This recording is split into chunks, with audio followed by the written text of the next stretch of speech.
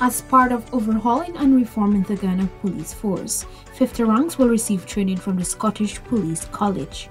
This is in keeping with the revised Guyana Police Force Strategic Plan 2022 to 2026.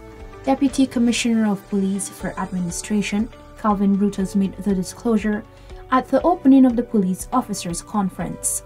The conference is themed Improved Partnership, Human Development, and Accountability to Enhance Service Delivery.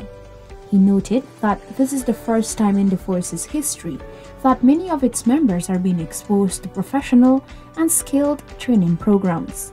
The administration of the force is currently engaging officials of the Scottish Police College to train 50 members of the organization on an accelerated one-year degree program in police management and in other specialized areas relevant to law enforcement. It is anticipated that this training will commence by the middle of this year. 33 members of the force are currently participating in a police transformation program through the United Kingdom. Also, the force has signed 17 memorandum of agreement with various educational institutions to develop its human resources.